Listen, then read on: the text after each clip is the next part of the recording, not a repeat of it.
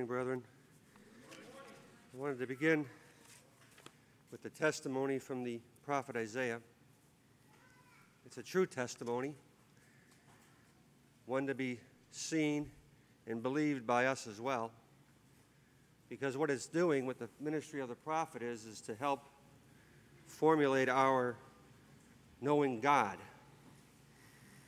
to shape our thinking about the God of heaven.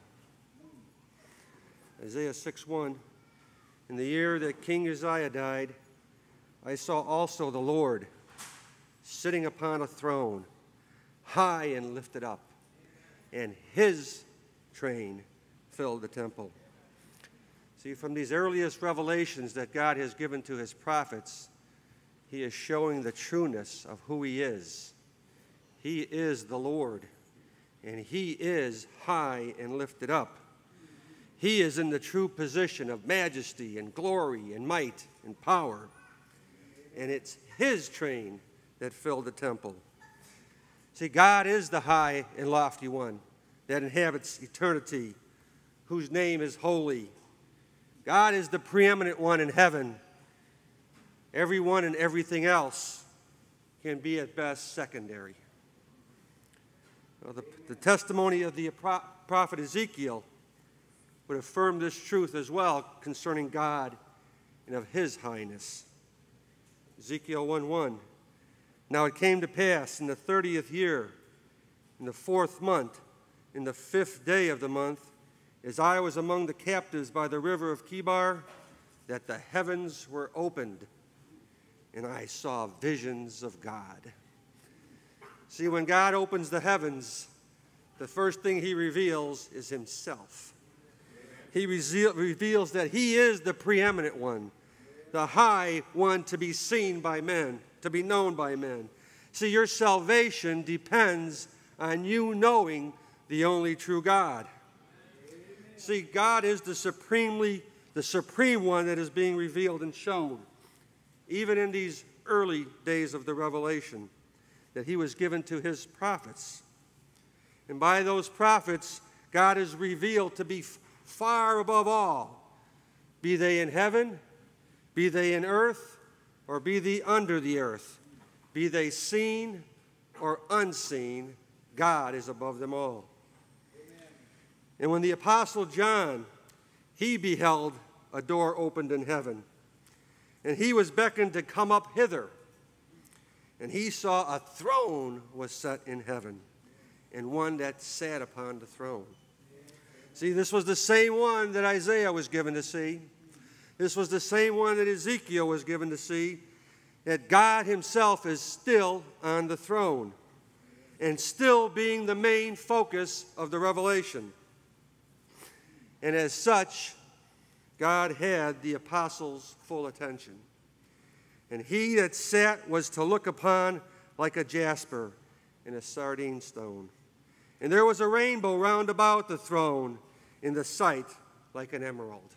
See, God was revealing his true highness and his glory and his majesty, his might and his power. See, at the very heart of the gospel, at its very core, at its very foundation, is God himself. Through the gospel of God, the very person of God is being revealed in all his glory, in all his majesty, in all his power, in all his might in the gospel of God, see the very divine character and nature is being made known. A nature and glory that shines forth. God's righteousness shines forth in his holiness. It's demonstrated. That it is not only shown, it's demonstrated. And by what he says and by what he does. And there is never a contradiction between the two. For what he says he does. And what he does, it's because he's said it. The Lord of hosts had sworn, saying, Surely, as I have thought, so shall it come to pass. And as I have purposed, so shall it stand. See, it is God's purpose and his workings that are the emphasis of the gospel of God. And his ways that are revealed unto the fulfillment of these things being accomplished according to his good pleasure. It's through the gospel of God that these things are made known. All others, be they the mighty seraphim, or the four and twenty elders, or the four living creatures, even men, are only brought into consideration of the gospel of God by virtue of their close proximity to God, or as they are brought by God into the working of His purpose. Apart from their closeness to God, or for their involvement in His eternal purpose, there really is no reason for any of them to be revealed or even considered, be they heavenly hosts or men. But see, there's something more that God wants to reveal in His highness and His glory, and that, and that pertains to men. See, He is the holy God, the only true God. He is high and lifted up. He is the high and lofty one that inhabits eternity, and His name is holy. But He also desires to dwell among them that have a contrite and humble spirit. See, this is, this is the good news of this high and lofty God that he wants to, deter, to, to declare unto his people. See, God himself is the source of the gospel of God. The gospel of God. See, he is its author and he is its finisher. He is its beginning, he is its end. See, God has declared these things that he begins works, but he also finishes them according to his purpose. See, the gospel of God is also about God. It's concerning him with him with whom we have to do. And this truth is just the beginning of the good news of the gospel of God. See, God is also the main declarer of that gospel. He is the main revelator. This word that is spoken, thus saith the Lord, or the Lord or God said, or the Lord or God spake, are recorded some 900 times in the, in the scriptures. Mm-hmm. And that doesn't account for the very specific times that you know it's God that's saying this, but it just doesn't say the Lord said it. See, the gospel of God reveals that God is a speaking God. He speaks, and it happens. Idols are not such. Men make idols, of their own de- design, but these idols, they cannot speak. God is a speaking God.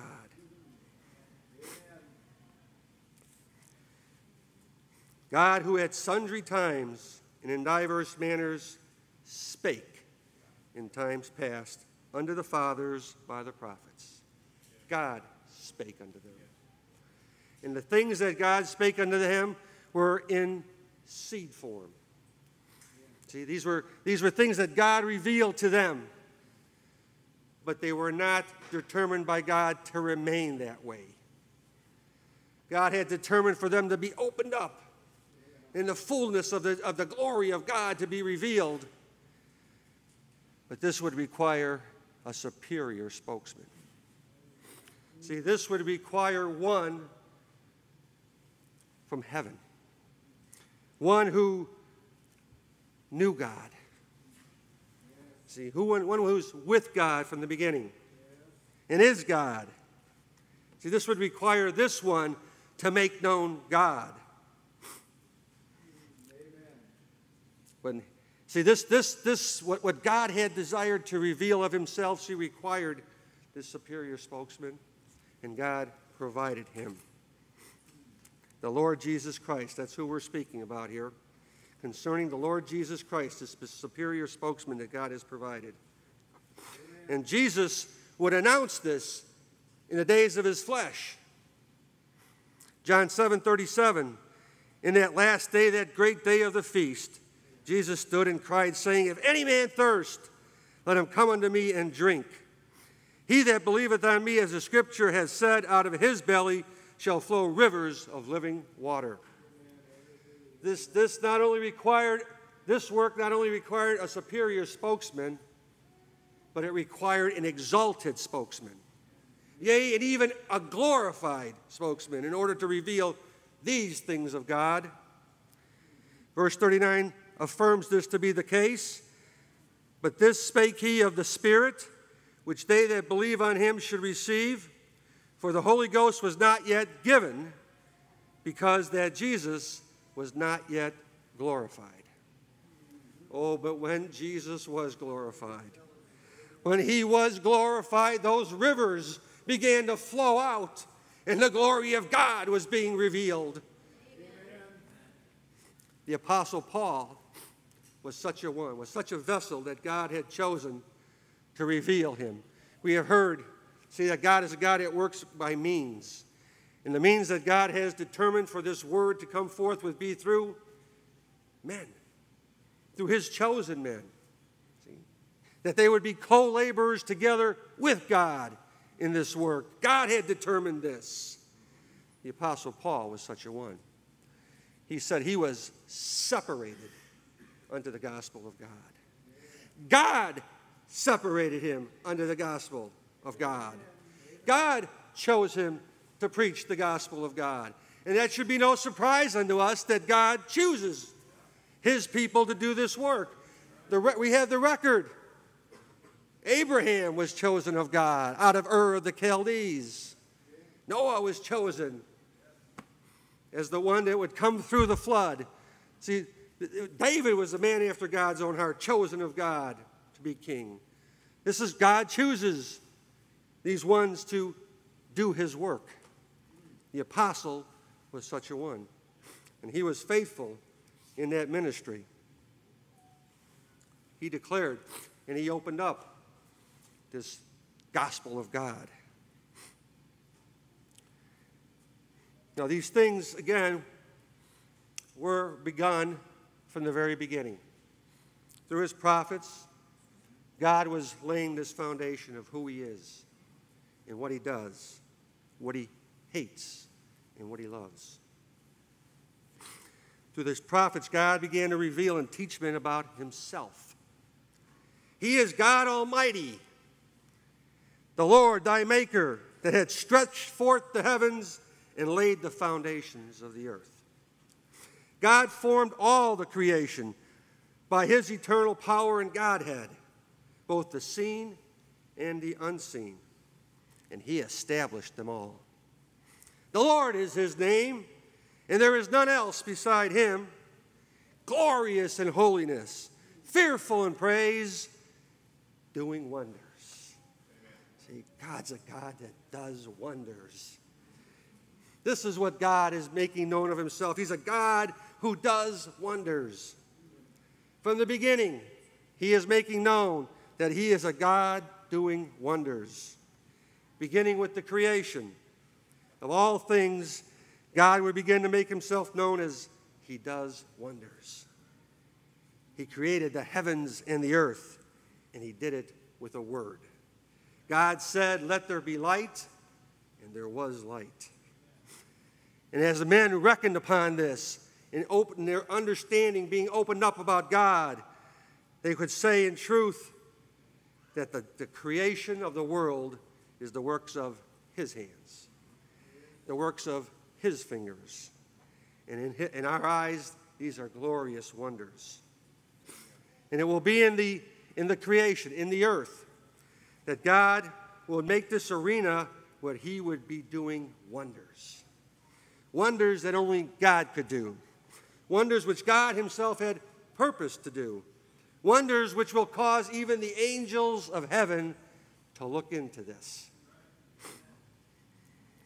Since God created all things, the creation is in subjection to the God who created it, to do whatsoever He had said, whatever He commanded. God is able to cause it to rain on that earth 40 days and 40 nights breaking open all the fountains of the great deep, and to open all the windows of heaven, to destroy every living substance that he had made off the face of the earth because of their wickedness. See, God is able to cause this. And yet, yet in this most deadly calamity, God is able to keep Noah and the, and the seven other souls. In that great calamity, God's able to keep them. He's able to keep them alive, to bring it through them that calamity and keep them alive. See what he was he's beginning to show things here now. This is this is far more than a children's Bible story. This is a revelation of the only true God, of who he is and what he's able to do. But what relevance does this have? This this account of Noah and the ark. Does it have any relevance for us now? Well, I want to tell you, you're gonna, you're, you want to know about you want to know about this God on that day of judgment. See, because on that day of judgment, there's going to be a separation between the sheep and the goat, between the godly and the ungodly, between the righteous and the wicked. Now, how are they all going to fare on this day? We know that the wicked are going to be cast into the lake of fire. But see, God has determined to make his people know this about himself that the righteous will not be destroyed with the wicked. See, he, he began to reveal this about himself from the very beginning when he, when, he, when he saved Noah through the ark. God is showing that he is glorious in holiness, fearful in praise, doing wonders. Amen. The Gospel of God also reveals there more about God. He can choose a man which was about a hundred years old, named Abram. His own body dead concerning the bringing forth of seed and give him to a wife whose womb dwelt deadness. And from them he would bring forth seed greater than the number of the stars of heaven. Amen.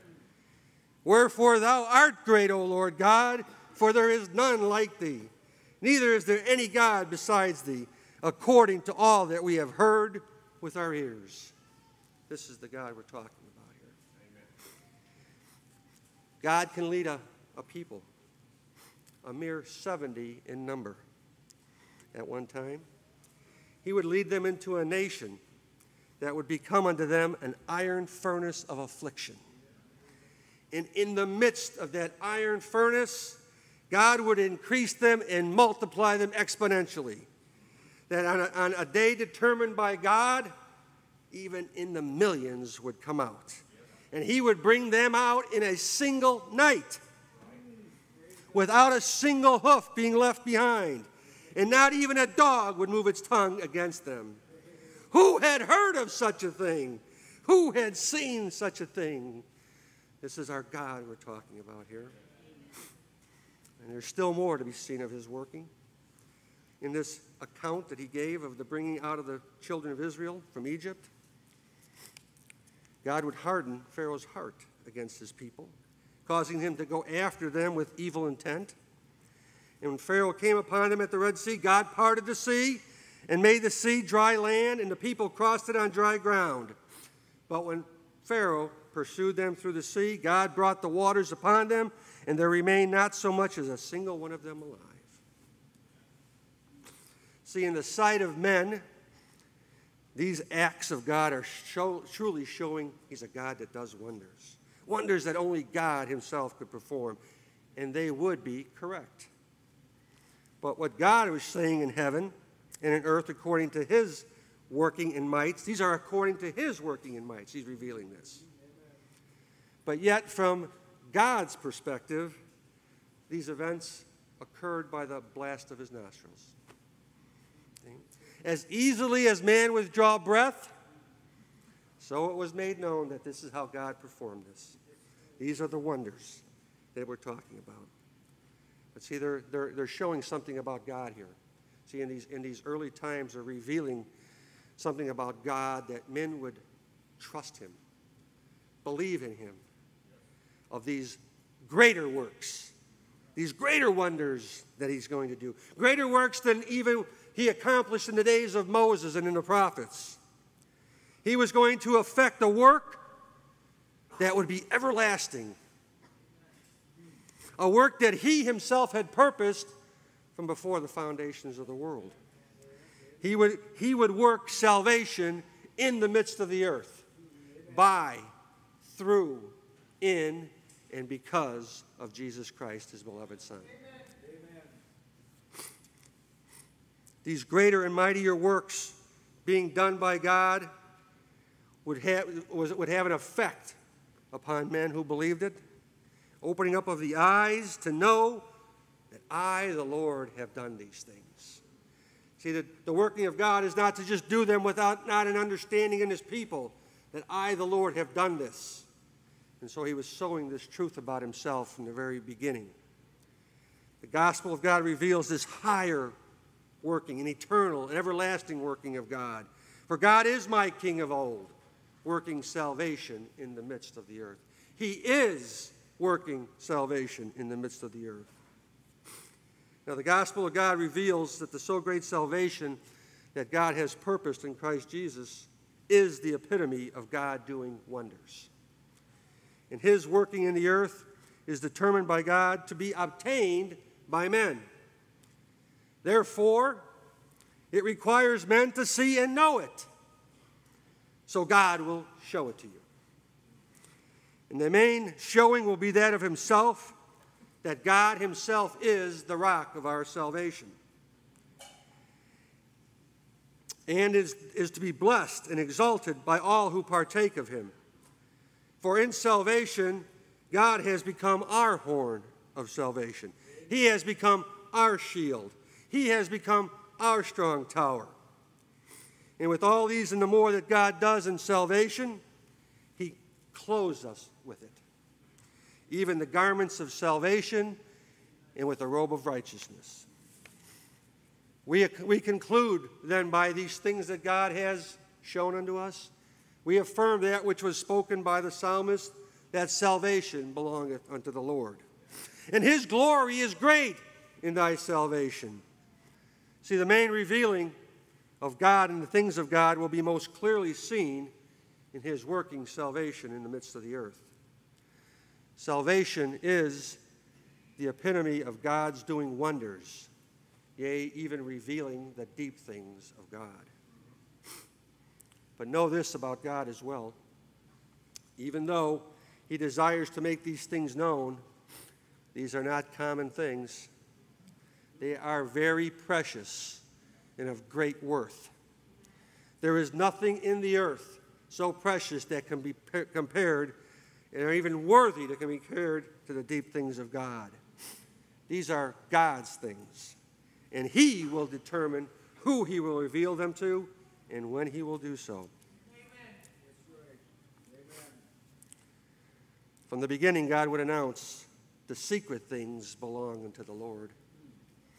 From early times of man dwelling on the earth, God has made known that there are secret things, hidden things, because they are God's things. They belong to the Almighty God and the everlasting God.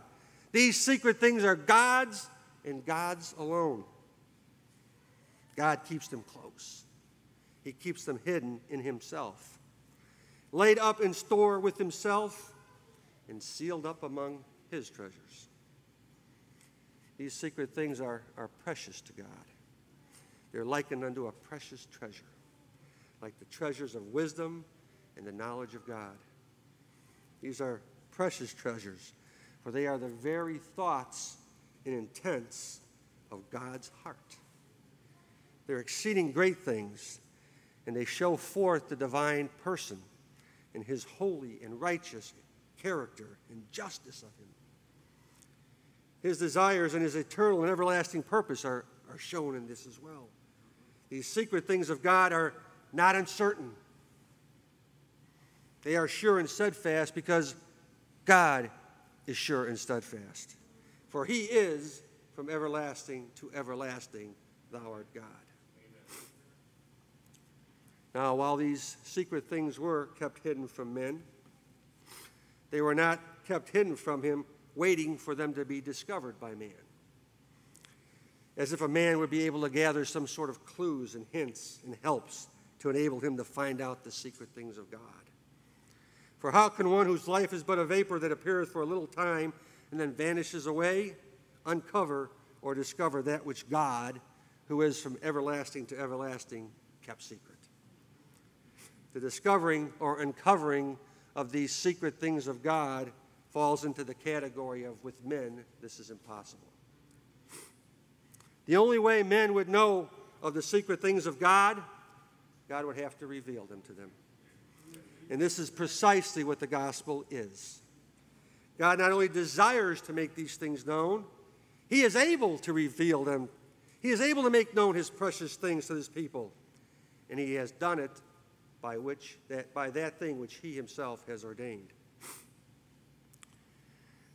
Romans 16, 25 and 26 says, Now to Him, God, who is of power to establish you according to my gospel and the preaching of Jesus Christ, according to the revelation of the mystery, which was kept secret since the world began, but now is made manifest, and by the scriptures of the prophets, according to the commandment of the everlasting God. Now, the working of God's salvation is effectual. Again, these things were determined by God for men to see and to take hold of. And the gospel announces that it was God, the God who commanded the light to shine out of darkness, He commanded the light to shine into your heart Amen. to give you the knowledge of the glory of God in the face of Jesus Christ. God has determined these things to happen, and God is working them. See, this is the, the announcement. He's working this great salvation in the midst of the earth, and His people, see, are receiving it. They're obtaining these things that God has determined for them. God hath abounded toward us in all wisdom and prudence, having made known unto us the mystery of his will, according to his good pleasure, which he has purposed in himself. Ephesians 1 8 and 9. Even that mystery which had been hidden from ages and from generations, but now is made manifest to his saints. These are, these are the ones chosen by God that he would make this revelation known of himself, his saints. But this working of salvation is no simplistic work. This work that God is doing is not such. For this great wonder that God is doing, that men would know him, the only true God, unto eternal life, would require far more than God speaking of a word unto, unto creation, or to do it with the blast of his nostrils. It would take far more than that. This work would require one who was very intimate and close to God. One that you might say was in the bosom of the Father.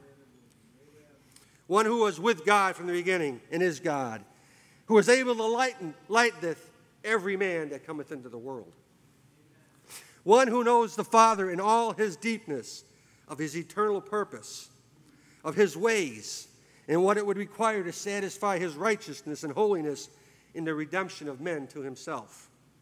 One who is able to save, one who is able to deliver, one who is able to redeem, one who is able to help us in our time of need, one who is able to rule and to reign in righteousness and to intercede for us in the presence of the holy, holy, holy God. And the gospel of God declares that we have such a one God's beloved Son, our Lord Jesus Christ. And God began to testify of him from the very beginning. Through Moses, God testified of Jesus. And through the prophets, God testified of Jesus. And through the Psalms, God testified of Jesus. For the testimony of Jesus is the spirit of prophecy. God Himself being the chief proclaimer of His beloved Son. See, the gospel of God reveals and makes known to us Jesus, his Christ, the one in whom his soul delights. And God's beloved Son, see, this is, this is God making that revelation known of his Son. He wants his people to know God delights in him. God delights in Jesus. From before the foundations of the world, God would choose Jesus to accomplish all that he had purposed. God would call him into the work.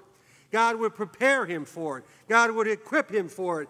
He would give him exceeding great and precious promises as incentives and then hold his hand all along the way. And in the, in the days of his flesh, God proved his faithfulness unto his Son, being with him. When Jesus would pass through the waters of sorrow and grief, being in this present evil world, God was with him. When Jesus would pass through the rivers of rejection, and hatred from those who he came to save, they did not overflow him because God was with him. And when Jesus would walk through the fire of knowing that he would have to bear our sins in his body on the tree, he was not burned, nor the flame kindled upon him, for God was with him. For the faithful God was in Christ, reconciling the world unto himself, not imputing their trespasses unto them. See, for those who think that God is merely a spectator in this great salvation, the light of the glorious gospel of God shows that this is quite the opposite. For God is my King of salvation, working salvation in the midst of the earth. He is a God that is doing wonders. Amen. He's doing them by, through, and in his beloved Son, our Lord Jesus Christ. And, and, and that work that God would do through him and in him and by him is of such marvel among men and among angels and those that men receive these things that God has purposed. They're re- actually obtaining them and they're receiving them. They're believing them. They're walking in them. They're holding them. They're keeping them. And this working of God, see, will come to a completion. But in the interim, as men and angels are seeing this and partaking of these, they're praising and glorifying God. They're, rec- they're recognizing that this is God who is doing this, that He's a God who is a faithful God and a, and a God who is able to perform that which He has said. And He would accomplish this covenant that He made with His Son concerning the people of God. To fill, this is uh, in, in, a, in a, unto a fulfilling of His eternal purpose. He said, speaking of his children, that they shall all know me. From the least of them unto the greatest of them, saith the Lord. Amen. Saith the Lord. And God would do this marvel, this wonder, by putting away the sin of the world by Jesus Christ.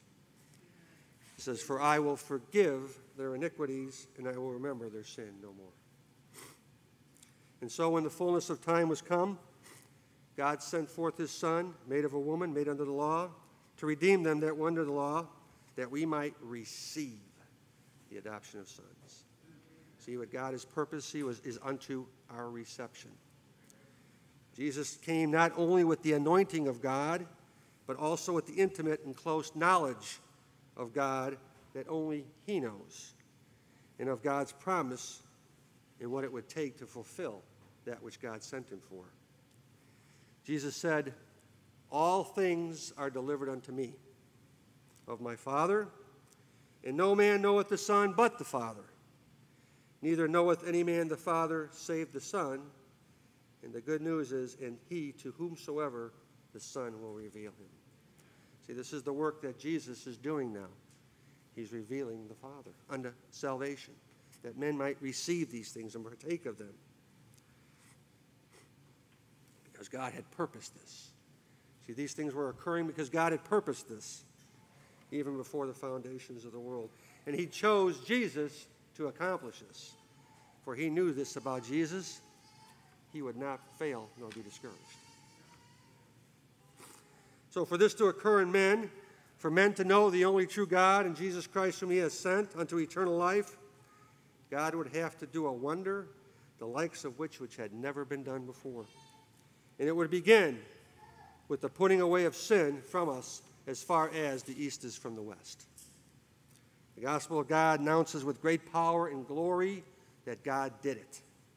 He did it by his beloved Son, our Lord Jesus Christ. For he is the man approved of God by miracles and wonders and signs which God did by him. Jesus was delivered up by the determinate counsel and foreknowledge of God. God laid on him the iniquities of us all. And it was by the grace of God that Jesus tasted death for every man. And it was by that death that he did put away sin by the sacrifice of himself. See, Jesus entered right into the purpose and will and working of God. For lo, I come to do thy will, O God, was his announcement of his faithfulness unto his Father. But as a wonder that God has done, this wonder, this wonder that is in through Christ Jesus our Lord, this ranks at the very apex or at the very top of God doing wonders. Because this work is not done yet. He is still working salvation in the midst of the earth. He has finished the work that God had given him to do in the earth, but now this work would continue from heaven by the exalted, ruling, and reigning and glorified Christ. And he's doing a greater wonder, greater in glory and majesty and power. The putting away of sin was the glorious provision of God for the reception of men obtaining the salvation of God in Christ Jesus. But the putting off of sin wasn't the only thing necessary unto completion. There was by necessity a, a putting on a putting on of a, a new man. A new creation was required, one that would be received by God. That's what we're talking about, being received by God now. That creation had to be done in righteousness and true holiness. And this, again, God has done. God has accomplished this in Christ Jesus. For God made Jesus to be sin for us, who knew no sin, that we might be made the righteousness of God in him. And with the divine provision of Jesus, made for all those who are joined to the Lord's death, burial, and resurrection, of God are you in Christ Jesus. See, God put you in Christ Jesus, who of God is made unto us wisdom and righteousness and sanctification and redemption. So then, as it is written, he that glorieth, let him glory in the Lord. See, with Jesus' resurrection from the dead, his ascension into heaven, his being received of God, exalted and glorified, in that most holy place, God gave him a name which is above every name. That at the name of Jesus, every knee should bow of things in heaven and things in earth and things under the earth, and every tongue should confess that Jesus Christ is Lord to the glory of God the Father. He set him far above all principality and power and might and dominion and every name that is named, not only in this world, but also in that which is to come. Amen. That in all things, Jesus would have the preeminence. This is that working of salvation that God is doing in the Word. It's concerning His Son, Jesus Christ. Now I want to finish with this. Gospel of God announces that God is satisfied and pleased with Jesus. He is well pleased with Jesus. Well pleased in all things concerning him. Of who he is, what he has accomplished, and what he continues to do. And because of Jesus, God has announced himself being blessed by him. God has been, he is, and always shall be blessed by his Son. God is blessed in Jesus' everlasting love for him. God is blessed in Jesus' fellowship with him, even before the beginning. God is blessed by Jesus' faithfulness unto him in all things. God is blessed by Jesus in his devotion to do him, to do his will, and to accomplish all his good pleasure. God is blessed by Jesus trusting in him and believing in him. Amen. God is blessed by his obedience to him, even the obedience unto death, even the death of the cross. See, the, glory, the gospel of the blessed God announces God's satisfaction in being well pleased in being blessed because of Jesus. Because of Jesus, he is blessed and continues to be so. And I want to encourage you in this that all that are joined to Jesus and continue to believe and trust in Him, who are obedient unto Him, God is well pleased with you as well. And you are able to bless God in your reception of these things of God. in your believing God, in your trusting God, and you're looking unto Him for His salvation. God is blessed in that. God wants all His children to know this, even from the least of them to the greatest of them. Amen.